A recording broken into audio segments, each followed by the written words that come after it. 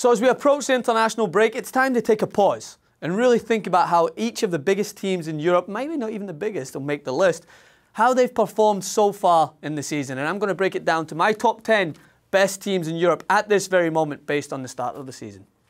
Oh my God, cue the comments. Who's going to make it? Francis is going to talk about Arsenal. Is he going to shit on them? Is he going to shit on everyone? Probably will so. But starting things off, number 10, Borussia Dortmund. Now, don't be fooled by that amazing spree where they've banged in five goals, six goals, four goals consecutively and were devouring teams. While they're playing such attractive football going forward and they have the uh, joint leaders in terms of goals scored in the Bundesliga. They've still lost two games in the competition and fallen uh, a few points behind Bayern Munich in the early stage is going to be a hard thing to make up at this point. So, despite the fact that they look dominant going forward, and if this was a top 10 attacking teams, they'd be in the top three, I think.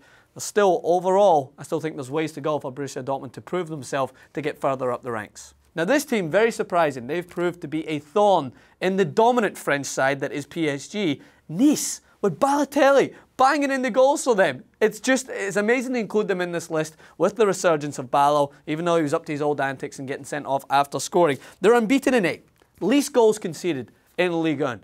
And even though they're not performing as well in the Europa League, and I think that may hinder them in terms of getting further up the rankings, they're still proven to be a dominant team in the French Football League, beating teams like Monaco, yet to come up against PSG. We're excited to see that game.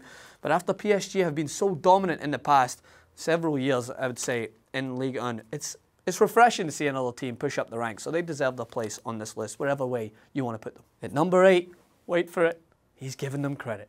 Arsenal. Now, since they lost to Liverpool in the first game of the season, everyone's questioning whether or not Arsene Wenger was going to get things right. Brought in Mustafi, it's really helped this squad.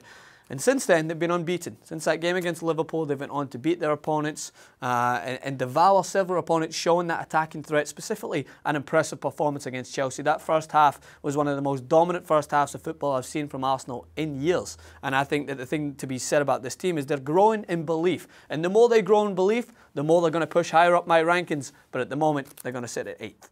And it's seventh, despite a poor start to the season in La Liga. Barcelona, yeah, facing injuries with Lionel Messi, still 100% in the Champions League, which is enough to keep them high on my rankings. But despite drawing several games and losing against Celta Vigo recently, they can't push higher up at the moment. They really need to figure things out without Lionel Messi. There can be an argument made that they should be a little higher up and not in the good way, maybe eighth or ninth. But at the moment, Barcelona, with proving themselves still in the Champions League, beating Celtic 7 0. And I know beforehand people would be like, ah, it's Celtic. Manchester City didn't have as easy a task playing against the mighty Glasgow Celtic, so Barcelona are dominant going forward when they're clicking, but still some work to do. At number six, the other London club, Tottenham Hotspur, the only team left unbeaten in the Premier League. And even if they were unbeaten, and the only reason it kind of holds Tottenham a little bit higher instead of maybe being in the top five, the team that's below them, uh, I'll touch on why they're in top five, is their Champions League performance hasn't been there yet. And while I, I want to maybe just hold them accountable to their domestic league performance, Tottenham Hotspur, for the squad they have and the dominance that they've shown uh, in the Premier League, really shouldn't have dropped points early on in the Champions League, especially in a group that's fairly easy. So I think that that's the only reason that will hold them in this position.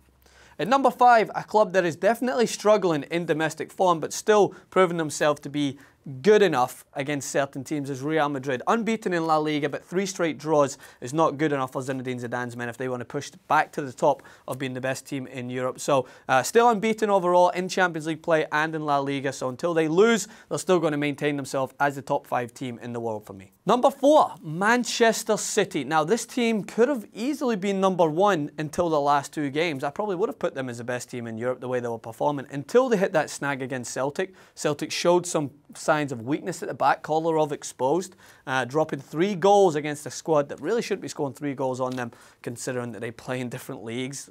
Easily one of the least competitive leagues in comparison to one of the most.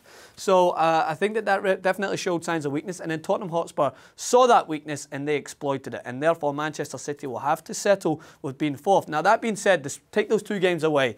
They were dominant early on in the season. This is a squad that uh, just really discarding opponents and one of the most impressive performances you have to take into consideration.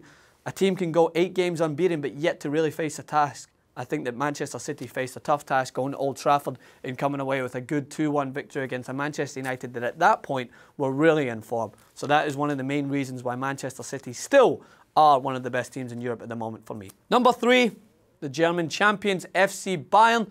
Again, they struggled at the weekend. They've yet to lose in Bundesliga play, but they did draw and a loss to Atletico Madrid in the Champions League has shown that despite the fact that they're still as dominant, still winning games at home, still looking uh, as the usual FC Bayern that we all know and love, they've really yet to prove themselves as the best team in Europe at the moment because they couldn't beat that team, Atletico Madrid, that just seems to be their kryptonite at the moment in the Champions League. So until they prove themselves to be better than those teams that seem to be just holding themselves a little bit higher than them, FC Bayern will have to settle with third. And second, Juventus. Now, again, controversial.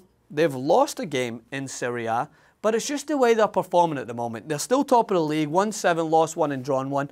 Um, and I think that the way they're showing signs of promise going forward, they're clicking, the moving pieces are fitting in well. Higuain's playing well with Dybala up top. Even though they lost that game at Inter Milan early on, they're still not a team that's more dominant in the world at home, I think, than Juventus. So uh, until they really slip up, they've still got a tough task, I think, to play against some of the bigger teams coming up. But they still look to be one of the better teams, having started the season uh, already. So through the first eight games of uh, the Serie A and the first couple of games in the Champions League, they still look dominant. I think Juventus deserve their place as the second best team in Europe at the moment. And number one, they don't get enough credit whatsoever, but I'm giving you the credit right here. Diego Simeone's men unbeaten in all competitions. Congratulations to them. Sitting top of La Liga, beating a team like FC Bayern.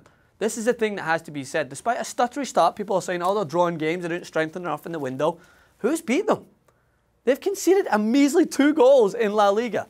They're still the best defensive powerhouse. Drop the pad. No better team in Europe at the moment than Atletico Madrid. You may agree, disagree. You may have already left in outrage at the fact that I had Arsenal still lesser than Barcelona and Real Madrid. All my opinion.